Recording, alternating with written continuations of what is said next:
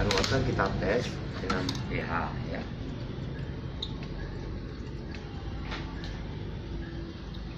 Ini air water beda warnanya. Biru ya.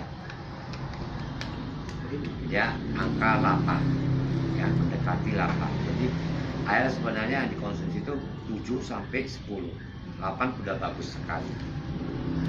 Jadi ibu punya air ini mentah ini pH nya rendah tinggi jadi udah dimasak diminum diolah menjadi angka 7 kita agak lumayan Udah bisa nggak masalah ya jadi dijaga lo ya jangan jangan sembarangan ini dia ambil tapi ini untuk masak nasi jangan Hmm, Jangan salah. dulu.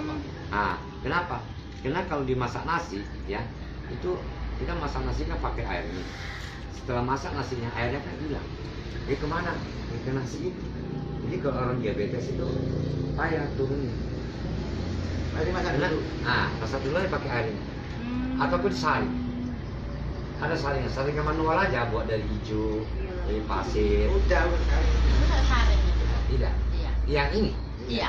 saring mesti gitu ya. Dia jernih tapi pH-nya nggak bagus. pH-nya nggak Emang bagus. ini yang ini Eh sebetulnya air jangan dimasak ya, kalau menurut saya.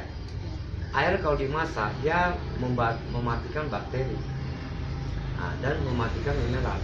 Sedangkan manusia itu membutuhkan air mineral. Apa? Hah? Nah, mineralnya nggak dapat. Kita. Jadi sebetulnya air jangan kalau bisa ya diisi ulang ini water ada itu ada yang di ada jual ada bawa galon itu karena Nah, karena kalau kita kali-kalikan ya, masak dengan apa? Masak dengan dengan isi, udah matikan.